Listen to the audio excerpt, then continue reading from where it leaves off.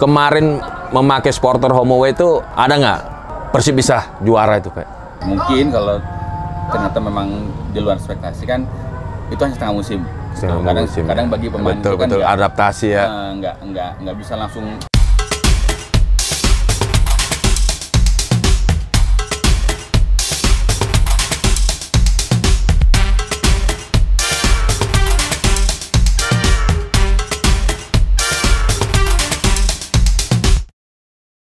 Oke guys, kali ini kita ngevlog dulu ya main bola.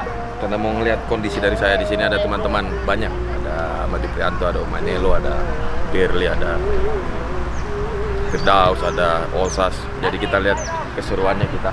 Trofeo di sini guys.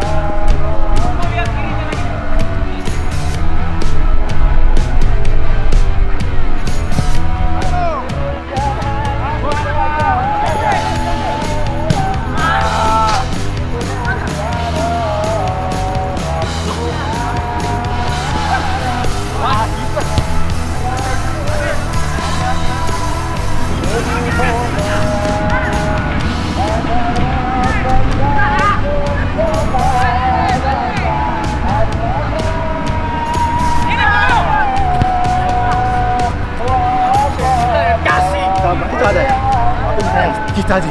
Biar mereka tahu. Oke, bro.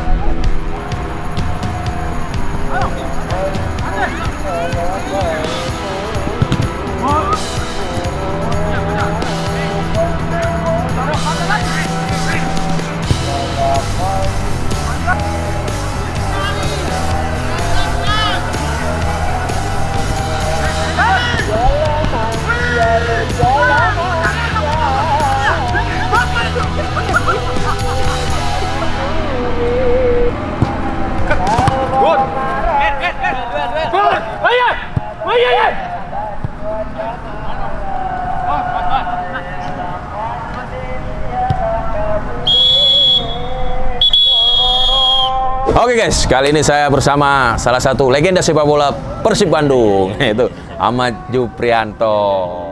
Nih kebetulan kita berada di eh, lapangan Marabunta habis latihan karena kita kumpul semua jadi sekalian lah. Pe, apa kabar Pe? sehat sehat. Alhamdulillah, gokil. Nih harusnya juara kemarin dua kali juara, ya kan? Tiga dong. Tiga ya. Oh Satu iya, Sriwijaya iya. Bandung. Dikit lagi Tiga. patungnya dia nih mau dibuat nih. ada sih. ada. Pe, gimana kondisi kemarin waktu di Bali tuh uber-uberan apa juara itu? Ya seru kalau kita sih. Seru ya.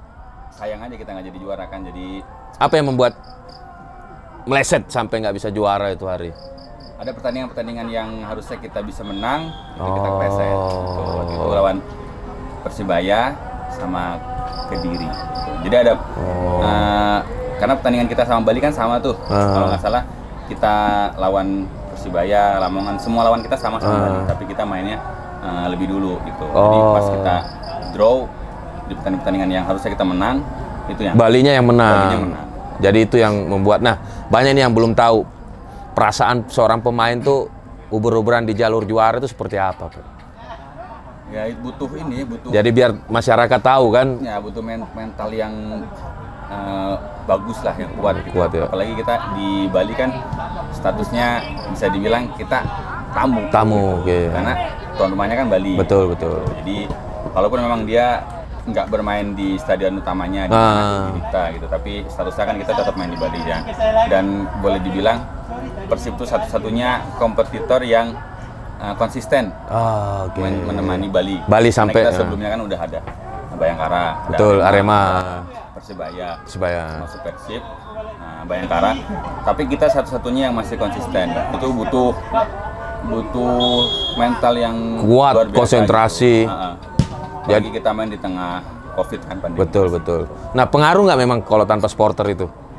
Pengaruh lah Pengaruh ya. jadi buat ke depannya kalau memang misalkan kita udah bisa main uh, home away udah ada, Ah. ada supporter karena itu bisa jadi tambahan motivasi sendiri buat pemain dan Betul betul. di satu sisi buat tim lawan kan itu jadi uh, tekanan lebih kan buat, buat Ah, mereka jadi ah. ada ada ada pressure gitu Beda ya kalau sama di medsos tuh sama di stadion tuh beda memang. beda Beda ya. kan ya beda aja Cuma Kita tahu Persib kan kalau mendukung kan loyalitasnya kan fanatik. Iya. Walaupun nggak bisa datang ke stadion tapi di medsos itu cara mendukungnya memberikan semangat tuh mengaruh juga nggak untuk pemain? kadang kan kalau nggak ada supporter yang datang ke stadion tuh mereka hanya nontonnya di layar, layar Betul, betul. TV. Ah. Jadi kadang mereka nggak menyaksikan langsung di lapangan tuh situasinya beda. Beda, gitu. ya. Jadi apa yang apa yang disaksikan di stadion sama di TV tuh pasti beda gitu. Kadang kalau kita eh, main tuh kalau di stadion kita kan full kita bisa lihat Betul, semua betul, kan, betul, gitu. Kadang-kadang kejadiannya eh, sebenarnya di sini yang nggak kesorot sama Ah, kamera. kamera eh, tapi yang disorot di, kamera yang di sini Iya, betul, betul. kalau misalnya yang langsung mungkin bisa tahu oh kenapa ini jadi seperti ini karena sebelumnya udah ada Oke. aksi yang yang nggak terekam Betul. sama kamera gitu kadang tapi kalau di TV karena memang itu yang terekam Itulah yang di. itu yang ya. viral nanti komentarnya berbeda Tapi apa eh, mendukung kita tahu kan Viking Boboto kalau mendukung walaupun nggak di stadion tapi di medsos tuh sebelum Persib main dia berikan semangat pengaruh nggak itu apa cuma berapa persen ketika dia ada di lapangan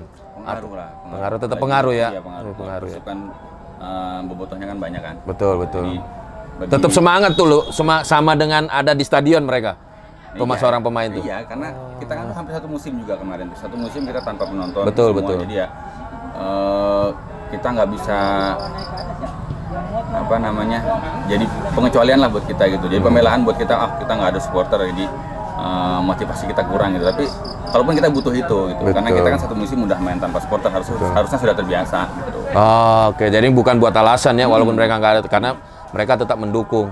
Nah, setelah kompetisi selesai nih, banyak kan tawaran kan?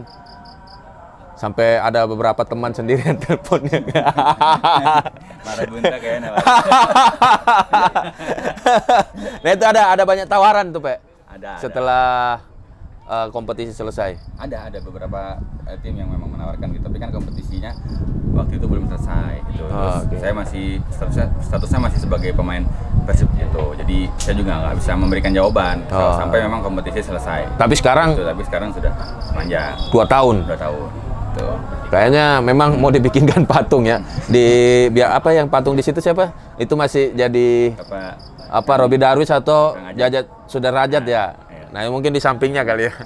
nah sebenarnya Kalau juara dia. nah kembali lagi nih kapan nih persiapannya Persib Bandung? 16 kita udah mulai latihan 16 mulai mulai latihan dan itu target juara juga tahun ini ya. Iya tiap tahun target kita pasti juara Karena- apalagi kita kalau jadi kan tahun depan main di FC AFC.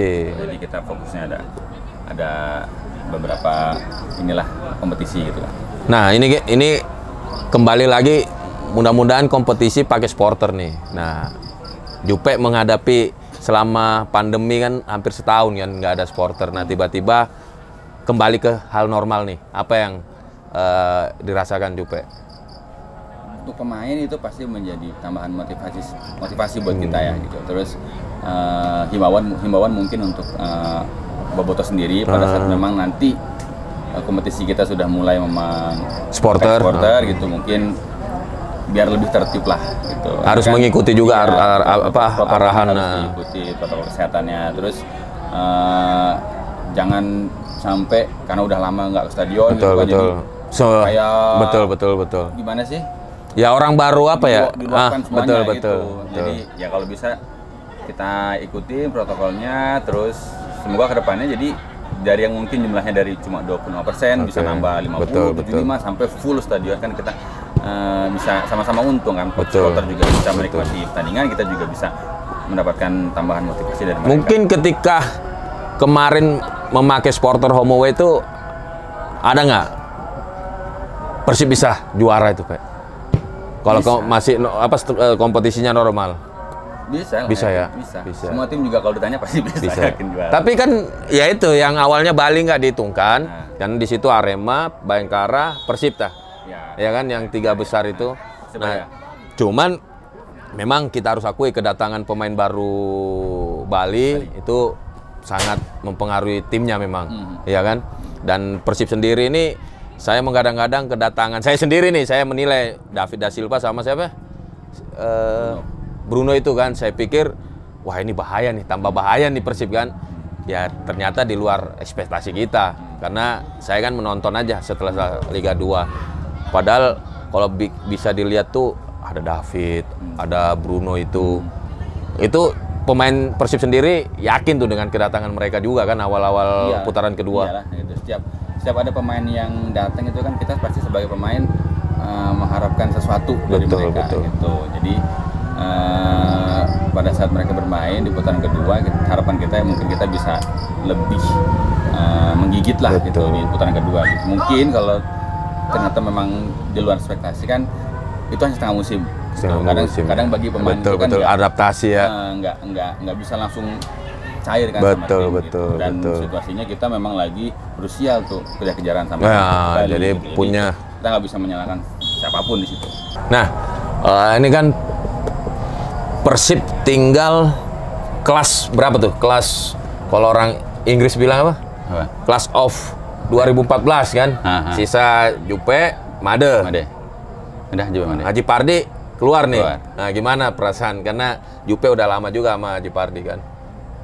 Ya saya sangat kehilangan lah gitu. Di di tim kita tetap butuh sosok dia sebenarnya gitu. Karena sosok dia bisa eh, mengayomi kita lah di luar maupun di lapangan. Ya sosok yang bisa dijadikan Panutan. sebagai panutan gitu untuk pemain-pemain muda dan pemain-pemain yang lain gitu. Tapi Di- sekarang ini Jupe lah yang jadi senior di situ masih, sama Made. masih inilah masih jauh lah kita masih Ya cuman kan bisa dihitung di situ kan udah nggak ada Haji Supardi tinggal Jupe sama ya, Made. sama sama Made lah gitu. Ya, ya beban juga buat kita maksudnya kita diberikan tanggung jawab lebih kan karena kita di situ pemain senior pemain yang memang eh, harusnya bisa menjadi contoh buat pemain yang lain gitu Oke guys, sekian saja wawancara saya dengan. Jupe. Sebenarnya banyak, cuma ya nantilah Eh, tunggu waktu enak karena ini juga udah ajan maghrib. Jadi kita sudah terima kasih Pe. Siap, Sukses sama-sama. Sukses bersama ya. Persib Bandung. Siap, saya siap. cuma mendoakan saja Amin. karena saya masih hmm.